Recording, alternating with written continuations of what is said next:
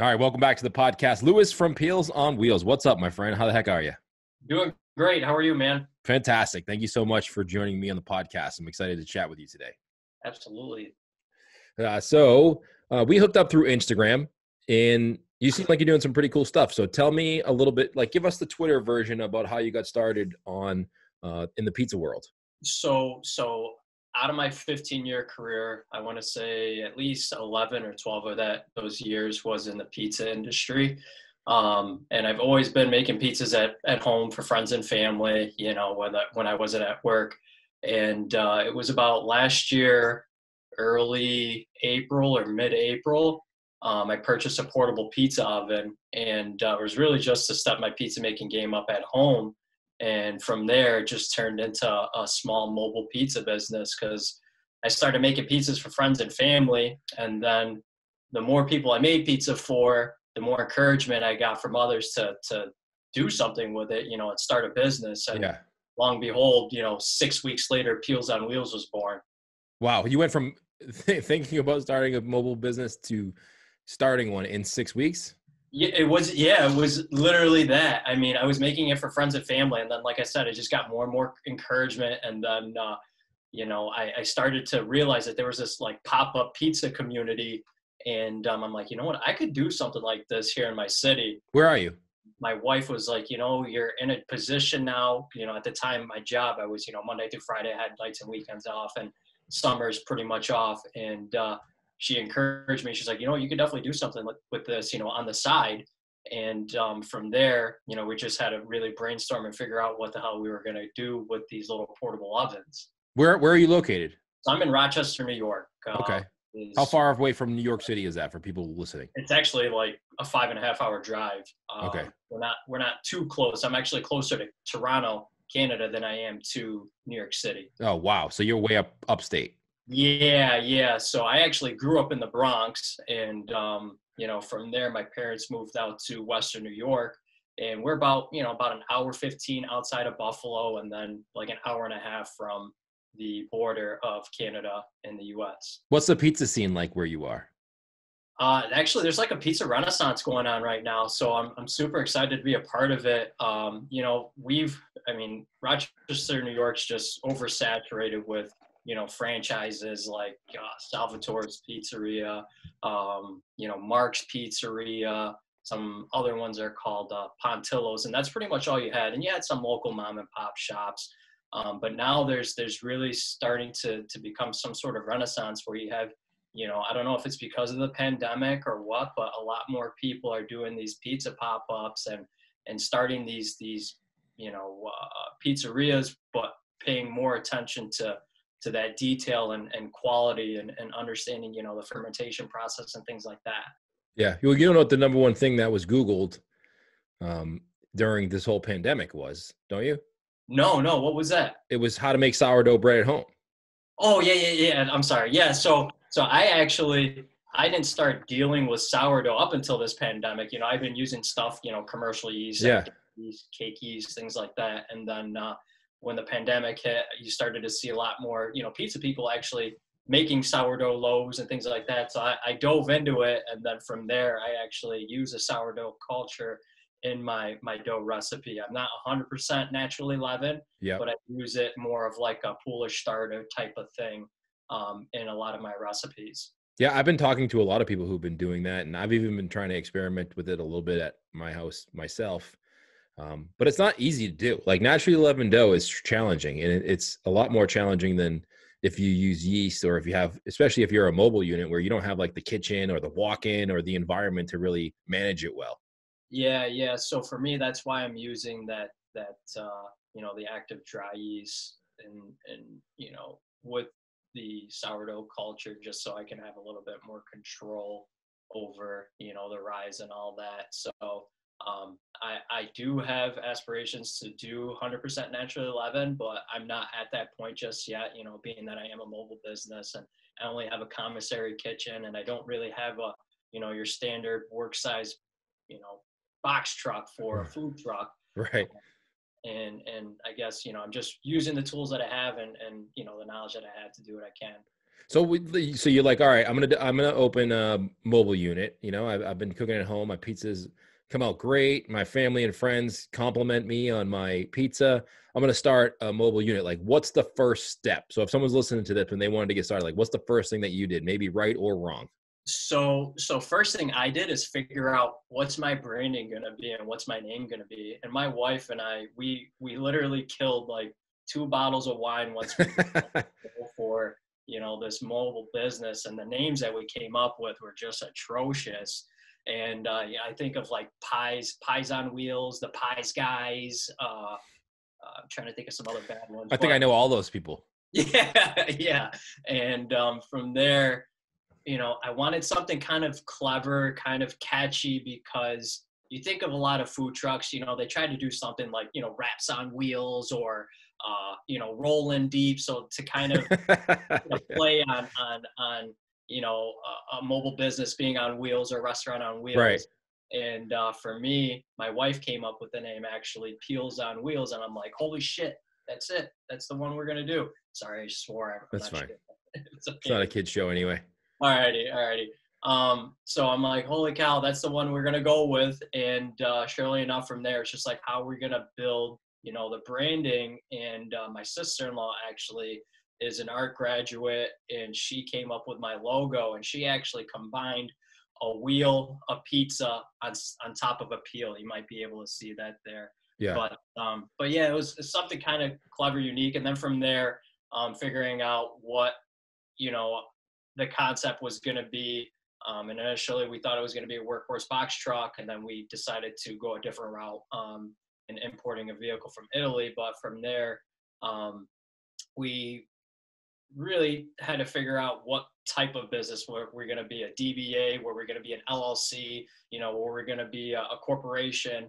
Um, and then from there, once you you sat, filled out all your paperwork, and I decided to go with an LLC, and um, from there it's just like you know figuring out your kitchen situation and what areas you're going to service and things like that. So what did you do for the kitchen situation? We're like, where do you work out of, or is it just so, inside your truck?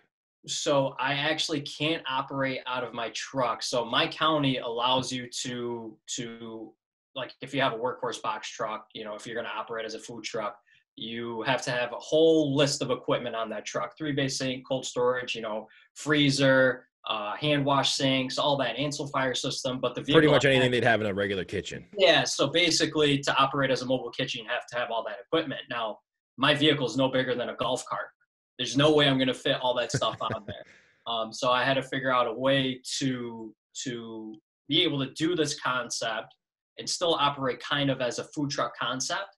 And um, for me, I had to sit down and figure out where I could get a commissary kitchen. So I had to find a commissary kitchen. Once I got it, that into place, um, I went to my county health department and set that up as my commissary.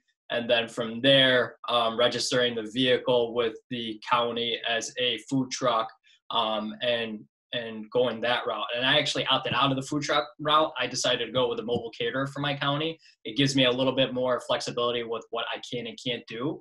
Um, and then some other counties, I'm actually uh, registered as a food truck just because it works out a little bit easier. So every county is a little bit different. Oh, that's interesting. Regulations. Um, I wish I could just be, you know, the same thing across every county, but like I said, there's different rules and hurdles to, to jump through.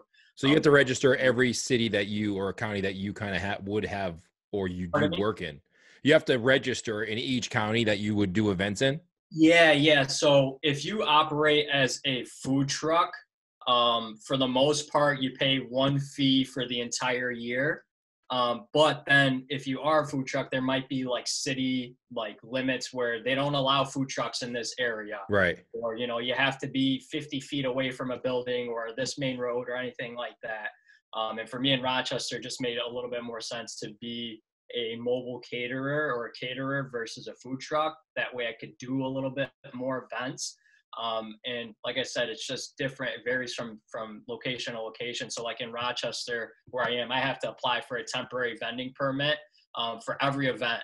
And typically those those permits, I mean, they cost anywhere from 55 all the way up to like 150 bucks. Wow. Um, depending the length of the the time. So if you're doing a festival that's 14 days long, you might have to pay you know, $150 just to be able to vend food there. That's Um, crazy. So yeah, it's it's a little bit more money out of my pocket, but then again, it allows me to do a little bit more events um, in the area.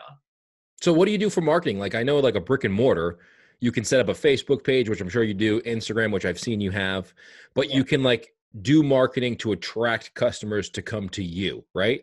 Yeah, Like you're catering to a different clientele where you need to have customers where it may only be a customer that comes to you once a year, right? Yeah, so so for me, it's really utilizing the social media platforms and my website. Um, you know, I use the platform GoDaddy, which is a great platform, and I use that website, and they partner with a company called Chow Now, and that's where I do all my online ordering through. And, Yeah, Chow Now's a good Chow Now's a good online ordering platform. Oh, it's it's amazing. It really is. But again, it's not meant for mobile businesses, so there's like a lot of hurdles to get through um, when utilizing that platform. Unfortunately, so like for me, I have to do a lot of work on the back end. yeah. I mean, very user friendly for the customers. Customers love it. Easy to navigate. You know, easy to adjust. You know, menu items, things like that. Um, but on the back end, it's like putting in the random hours that I'm going to be because I don't have set hours for the week. That's true. to physically go in there, create a menu for each different venue, create different hours for each different venue, and then I have to monitor like the the different like times where you know the last thing I want is to take 100 customers between 5:30 and 6. So like I have to get on the phone and say, hey, you need to shut down 5:30 to 6 before I'm at capacity or anything like that. So it's it's a lot of work on that back end, but I've been Yeah. working with them a lot on trying to figure out how to make this a little bit more friendly for mobile businesses. So they're great. I mean, overall, user friendly, great customer service. They're always there for you 24 7. So it's a great program. That's um, probably something that they should think about is because I'm sure there's a lot of mobile guys like yourself who want to use a simple online ordering platform. And like you said, Chow Now is great for the customer. It's very customer friendly. But if you're uh, a mobile guy like yourself and all those scenarios you just mentioned, I'm sure like they're like, oh man, we never even thought of any of those. Yeah, so at first it, the, it was really difficult, and I, I don't want to bash Chow now, but at first, uh, being that I was a mobile business, it was very difficult for me to receive my disbursement. So like I'd go, you know, a few days in a row with events, and for some reason, the way I was uh, uh, adjusting like my hours was affecting the funds for all these these these customers that are paying to be dispersed to me. So sometimes it was, I'd go like two weeks without getting. Oh money. man. Yeah, it was bad. It was bad. But you know, we uh, after many many different conversations, we were able to figure it out. Now it's smooth sailing. But there's definitely a lot of uh, uh, uh, trial and error. There was a lot of trial and error through the entire process. But now we're good. Now I'm getting paid. You know, as it goes. So Good. which is good. So I mean, that's the name of the game. You got to get paid, like especially as a small business. Like you, two Yeah. weeks is a long time without making any money. Oh, you got to man, put out yeah. all that money. it was definitely Yeah. we felt it you know and there was a lot of stress and pressure but no i think the, i think the program's great and i think the most important thing is that it's very user friendly and customers enjoy the platform and honestly like that's the biggest thing for me is is you know making sure that the customers are satisfied with our service and you know they don't have to to have a headache and whenever they're placing an order you know what i mean Yeah, they want to make it like for us as owners, we can kind of deal with the headache a little bit. If it's going to be challenging for one uh, portion of the customer transaction, I would rather it be more challenging for me than the customer. Yeah, hundred percent, hundred percent, and that's exactly what my mindset. Like, yes, I'm I'm doing so much work on the back end, you know, for these events, you know, for this online platform, but customers are ordering and they're happy with it. So, um, I, I guess that at the end of the day, that's all that really matters is a customer that's happy. Um, but yeah, so utilizing my website and that platform, and then social media, Facebook and Instagram.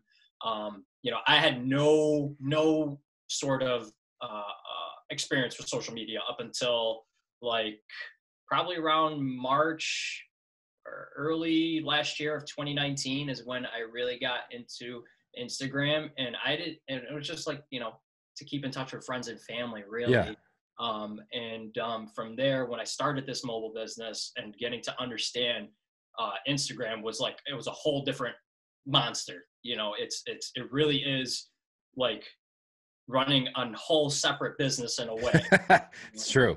it, it, it really is and, and it, it sounds so cliche to say but like when when when you start to get a lot more engagement more people are getting excited and and trying to develop content and promote your events it's a lot of work i mean just just the, the daily motions of it and i'm getting better about you know making time for it throughout the day versus trying to be on it you know Yeah. all day, you know, setting a time frame from this time to this time, this time to this time, this time to this time throughout the day. So I'm not strictly, you know, social media, you know, driven, if that makes sense. Yeah, it does. You got to like batch your time, just like you do with Yeah. anything else, right? Like you're at the event from certain times, and before mm-hmm. that, you prep from certain times, you promoted from certain times. I think the thing about social media that makes it challenging for people is that our phone is always with us, right? Like we don't have a dough mixer in our back pocket all the time where you're like, all right, I'm going to make some dough right now.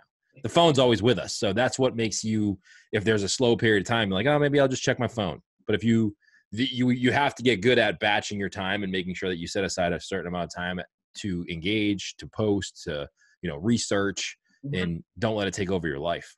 No, no, yeah, and, and in the beginning of this, I mean, in my first like six months, I mean, I was always on it, you know, answering every message, answering every every you know uh, uh, comment um, as they were coming in, and then now it's more of you know now I have my set times throughout the day. Yeah.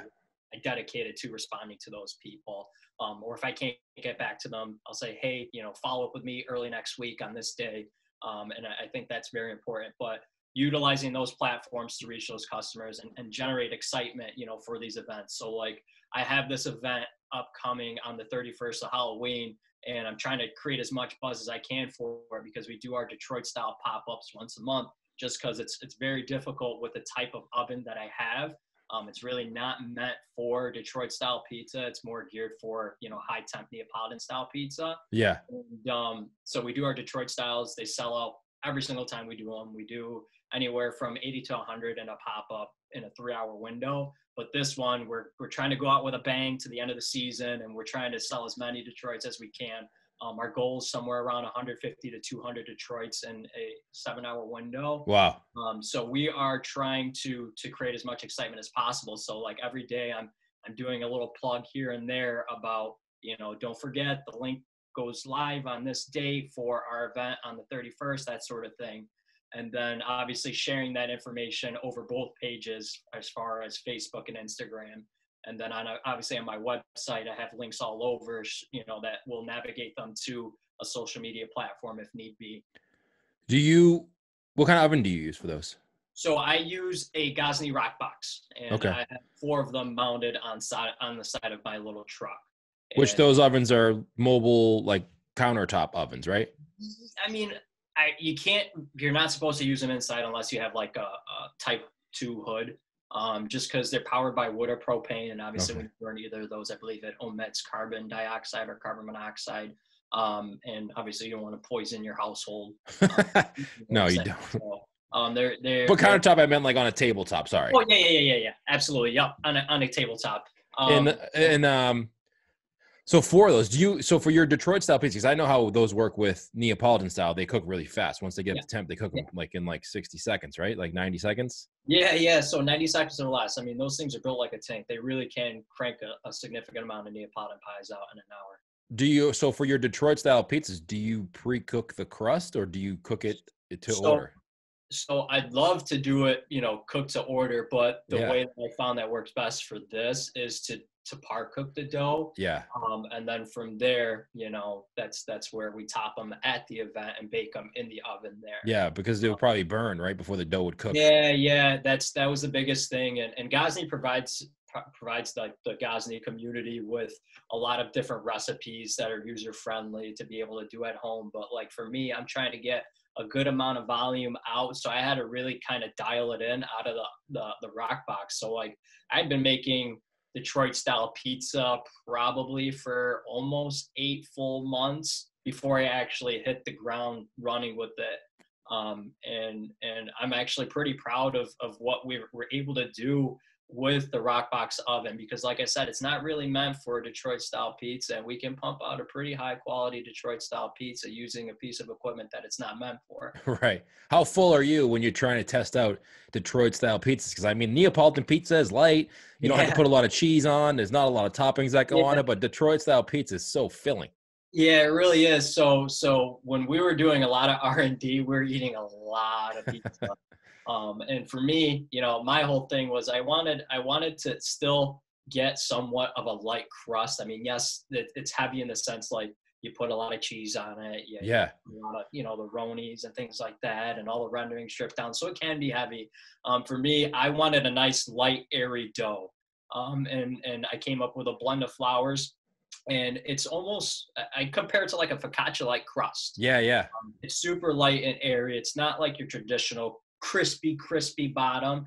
Um, but it again i like the, the the balance between like your crispy crown around the perimeter and then the soft dough. And and that's probably the biggest like the most positive feedback i receive is in regards to my dough. Um, and and that's that's almost instant gratification because we've worked so hard on our dough recipes you know for an at least a straight year and we're still dialing it in tweaking it as we go along and i don't think that'll ever end No. um, because obviously continuous improvement is is super important you know to any sort of business and for me it's it's constantly tweaking and adjusting and figuring out you know what recipes to use depending on the time of year but no we definitely are, are super excited about our detroit style pizza Yeah, your dough recipe is never done, right? I've talked to so many people on the podcast, and it's always a, a work in progress. You're always trying to make it a little bit better every single day. So there's never going to be a point where you're like, I've perfected it and I'm never touching it again.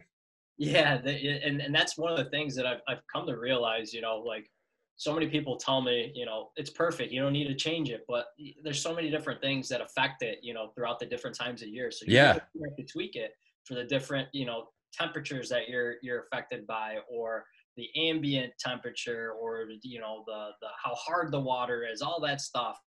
Um, and and it really is a science, and it's it's really like a game of cat and mouse in a way. Yeah, because especially in the like the Northeast area, like you know, it's 90 degrees one month, and then not eight months later, it's 20 below. Oh my God, Rochester, New York, our weather is absurd. So like it's been 40 and raining and raining, and then this weekend we have 80 degree weather on Friday, Saturday, Sunday. So it's like, how do you go from one way to the other way? And it, it's it's just like that throughout the entire year. It's pretty bizarre. What sauce do you use? I'm uh, by the uh, by by the way, if you're listening to the podcast, go follow them on Instagram. Uh, Peels on Wheels Pizza on Instagram. Your pizzas look amazing, by the way. Thanks. There was, there was one video I was watching. Was actually watching that video of you trying, not trying. You were making the Detroit style pizzas in the oven, and it was like a, I don't know if it was like a a, a sped up video, but it's like literally you just sitting there Oh, that's, spinning the pizza. I mean, that's not sped up or anything. That's Oh, really? from oven to oven. That's a lot of work, my man. Yeah, it really is, and and that Detroit style, like I said, it's it's meant to be baked at about 500 degrees, 550. But Yeah. box oven, it's it's at its lowest setting, it's like 750. So yeah, it really is like a game, you know, going from one oven to, the other oven when you have four going at once. So I've been making a lot of Detroit style pizzas at my house lately. I just been into it. I don't know what got into me, but I've just been into that that style lately. So I know that it it's different, right? Like that. I have a one of those ovens, not not the one you mentioned, but I have a different one, Yeah. and I use it outdoors. Um, I couldn't imagine cooking a Detroit style pizza in there though. Oh, I, I, and again, it's it's scary too because you got all that grease that's that's bubbling and spattering, and then you got that big rolling flame on the top. So I've had a couple times where the grease caught on fire, and it was, it was pretty scary. But I'm not saying uh, it's dangerous territory whatsoever, but it's definitely not ideal for Detroit. But we make it happen, and that's why we do it once a month and to Yeah. keep it a novelty. It's got to be one of those things where it's like stressful but satisfying when it's over because I'm sure it's like before it happens, you're probably super stressed out. You have like a Oh. hundred people coming for Detroit's. Like, it's like, I don't know. There's a lot of things in life where you're like the anticipation. You're like, once it's over, you're like, or like you're going through it and you're like, I'm never doing that again. And then it's over and you're like, that wasn't so bad. Maybe we could do it again. A hundred percent. So when we first started doing them, I think we were only doing like 50 in a pop up, and um, that eh, back then it was just like, oh, that's way too much. And then we tried to push boundaries. And like, oh, Yeah. we're up to 60 this week, and then Yeah. got more and more as we dialed in the processes, the recipe, and all that. So and then figuring out how to properly space out all those pre-orders and also be able to accommodate walk-ups. But at Yeah. this point now it's just straight pre-order, so we can time it out pretty much perfectly and pretty strategically um, for like you know whether it's a three hour five hour seven hour window Is that because of COVID or that's just a better system for you? it's just a better system especially for the detroit style so we we we we try to space them out so obviously we can only do a certain amount per oven per hour Right. um, and and really that's what it boils down to and also it allows us to to keep you know quality you know as as a priority for these pop-ups. You know, I, I could easily probably sell 150 or 200 in, in a three-hour window, but I think you run the risk of of of what is it? Uh, not having a high quality product. Yeah, you don't want to do that. Um, for me, it's it's it was more of quality over quantity, Yeah. um, and we've always stuck to that motto, and and I think it's worked out in our favor. But yeah, I mean, it's it's a fun style pizza, and, and we're having fun with it, you know, at our pop ups, and and we're super happy to to be able to offer that unique style pizza to Rochester, New York, because it was kind of like I said, I think we all got complacent in our city Yeah. type of pizza that we had. And now there's a little bit of a renaissance, and I'm, I'm super happy to be a part of it. And I just want to make an impact in my community when it comes to pizza. Yeah, I mean, even in my city, I'm from Boston, and you know, I'm probably gonna get a lot of shit for saying this, but Boston's been notoriously known for bad places. Like there was one, there was a list, and I don't even care. Santarpio's, which is a place here, it's not bad pizza. Don't get me wrong. I'm not saying that this Santarpio's is bad. It's okay pizza, uh, but it was like number seven in the best places in in the country out of a 101 list. There was a, a list of 101 best pizza places in the country, and Santarpio's was number seven. And that made it might have been true 20, 25 years ago, but it's not even the seventh best pizza in Boston. And Boston's kind of going through that same renaissance that you're referring to. Is there's a lot of great pizzerias starting to pop up in the Boston area, whereas 15, 20, 25 years ago, it was really crap pizza. Like we had really bad pizza here. So for me, um, we lived in in the South Bronx. I mean, I was 10 minutes away from Yankee Stadium. I mean, we ate pizza two, sometimes three times a week, whether it was Yeah. getting a slice or you know, my, my parents were ordering it for dinner. I mean, we we were spoiled, obviously, being in New York City, and I'd probably say that's probably the the next biggest mecca other than Italy. Right. And um, so to be there and have that, and then we move to Western New York. I mean, I'd never seen a cow in real life, like, in real life, let alone you know as much grass and trees and cornfields. And um, so to go from there was complete culture shock, and that was the first thing that we we missed was like good pizza. Yeah. good pizza. Because we moved to the countryside, and honestly, I want to say that my graduating class in high school there was like 64 kids wow, that's amazing. yeah, it's it's super super small in comparison to where I had like 60 kids in my third grade class, you know, or fourth grade class. So um, not like in a classroom, Right, right, right. not graduating. Graduating, there was thousands of kids. But um, but yeah, to go from that to this, and then obviously pizza's been something that's very important to to me because it's kind of part of the roots of where I grew up. And uh, from there, you know, this year it just kind of became more of an obsession, and and you know, this Roccbox oven actually you know opened my eyes to the pizza industry entirely. That it's it's far larger than what I originally thought Yeah, it is for sure. And it's also a very welcoming community and i've met some awesome people who have helped me navigate myself through this industry and and providing their insight and guidance and and there's so many people you know and, and one of my great friends um, she's actually become one of my great friends is Lupa Cotta from from california and inez Yeah, yeah. She's been a huge, huge help for me because she's been building a brand out there for a while and we both utilize the Roccbox oven. So we bounce ideas off each other and we talk, you know, a few times a week and at least once or every other week we have a phone call and she's just great help. She Yeah, really she's great. We we just recently had her on the podcast a few weeks ago. Oh, really? Yeah, I think uh maybe I don't know five or six weeks ago she joined me on the podcast and um, Yeah, she's was- awesome. yeah she's great. She does a great job too with her recipes and her branding and like what Mhm. she's trying to do in the LA market, which is a tough market too. Oh, for sure, for sure. Um, but yeah, no, uh, the Rochester area, like I said, there's a renaissance going on, and, and I think with our concept and and our quality pizza, we're we're we're gonna do great things in our city. Do you have any desire to open a brick and mortar, or are you just strictly mobile? That's what you want to do. No, I, I mean, there's there's definitely the hopes and dreams of opening a brick and mortar. I don't want to grow too fast. I want to continue to do this mobile setup. I think it's a fun concept, and I want to really, really build that brand, especially with this little truck. I mean, I keep talking about this little truck. We we imported from Naples, Italy, and and if for anyone who's been there, they'll know exactly what I'm talking about. But it's a Piaggio Ape, and this little three-wheel truck is used everywhere throughout Europe, really. And obviously, it's it was manufactured and built in Italy, and um, it was built because of their small narrow streets. So this little thing is their mail truck, it's their garbage truck, Yeah, their food trucks. You see them everywhere, And uh, my wife and I, we actually were lucky enough to honeymoon in Italy. We fell in love with these things when we saw them there. If you would have asked us while we were there if we would ever import one to the U.S., we would have said probably in mind. So uh, we eventually somehow came up with the concept, you know, because of the Gozney community and me coming across a gentleman by the name of Peddling Pizzas, um, who's yeah. actually sponsored by Gozney. Uh, I saw that concept and I went from wanting a workhorse box truck to figuring out how to import one of these to the US. He has a similar truck, right?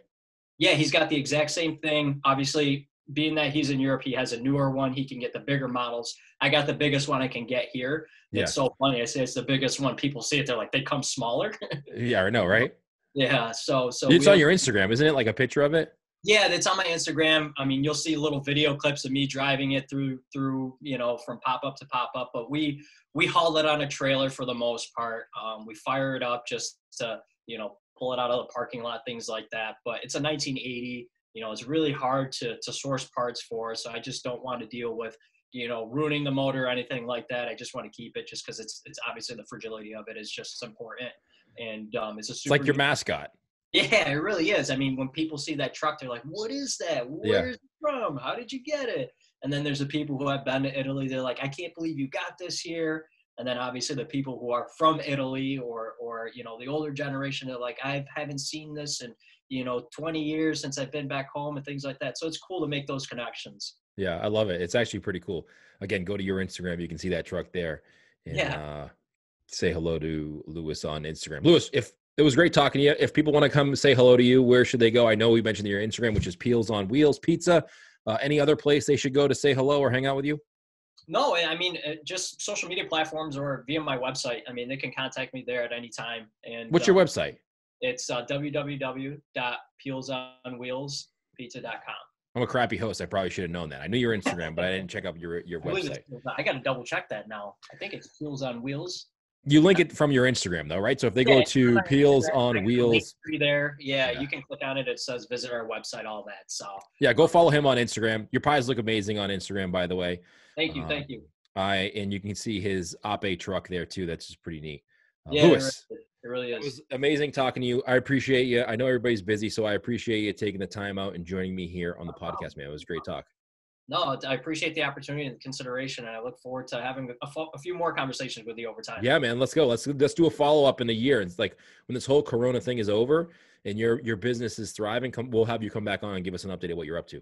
Hopefully, at that point, I'll get a brick and mortar. Yeah, definitely. Are you gonna if you get a brick and mortar, are you gonna do it in Rochester? or Are you gonna do it in your home, like your home city of New York City? Uh, no, right now I'm, I'm just focusing here on Rochester. I think uh, I've, I've got my family and all my friends and so many ties here now. And, yeah. and you know, obviously in New York City, there's a ton of competition out there. That is true. Um, and I, I, got I got some big shoes to fill if I'm going to go out there and attempt to, to open a brick and mortar out there. Uh, I love going out there and just doing my research. That's it, doing my yeah. homework. Who all right, we'll, we'll have you back on when you do that. All righty. All right. Thanks, man.